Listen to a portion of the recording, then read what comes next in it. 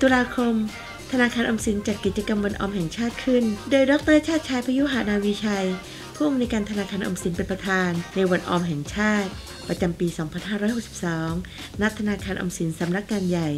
พื่อปลูกฝังและสร้างจิตสำนึก ให้ประชาชนตระหนักถึงความสำคัญของการออมในปีนี้ จึงได้จัดแนวคิดคัมภีร์แห่งการออม GSB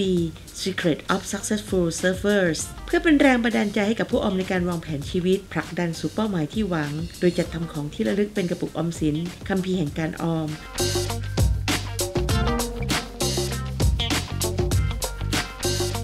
ครับในวันที่ 31 ตุลาคมนะครับ ซึ่งก็จะได้เงินฝาก เพิ่มขึ้นอยู่ประมาณ 2-3,000 ล้านบาทนะครับ ซึ่งจริงๆ อันนี้เป็นเชิงสัญสัญลักษณ์ที่เราอยากจะส่งเสริมว่าให้ประชาชนเนี่ยรักการออมและมีการออม โดยมีการที่ได้กระปุกออมสินรุ่นการออมเนี่ยนะครับ ซึ่งซึ่งก็ฝากเงินเพียง 500 บาทก็ได้กระปุกหนึ่งใบนะครับ ซึ่งเราก็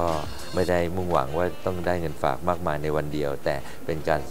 ส่งเสริมสัญลักษณ์การออมครับการออมของธนาคารออมสินนะครับปัจจุบันเรามีเงินออมอยู่ประมาณอ่า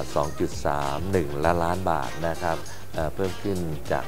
อ่าสิ้นปีที่แล้วเล็กน้อยนะครับ แต่อัตราการเร่งเนี่ยจะมาเร่งอยู่ในช่วงควอเตอร์ที่ 4 โดยเราตั้งเป้าอัตราการเติบโตไว้ที่ประมาณ 1 เท่าของ GDP ก็คือประมาณ 3-4%ก็ประมาณ 6-7 หมื่นล้านบาทนะครับ ก็ก็คิดว่าในถึงช่วงสิ้นปีเนี่ยเราก็จะมีเงินฝากเพิ่มขึ้นประมาณ7-8หมื่นล้านบาทนะครับในช่วงปลายปีนี้นะครับ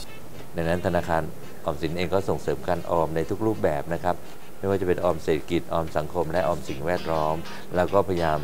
เพิ่มรายได้ เพิ่มความรู้เพิ่มอาชีพให้กับประชาชน เพื่อที่จะเพิ่มรายได้ แล้วก็มีความเป็นอยู่ที่ดีขึ้น ยกระดับเศรษฐกิจฐานรากแก้ไขปัญหาความยากจนและลดความเหลื่อมล้ำอันนี้ก็เป็นภารกิจของธนาคารออมสินครับธนาคารออมสิน เติบโตยั่งยืนตอบแทนคืนสู่สังคม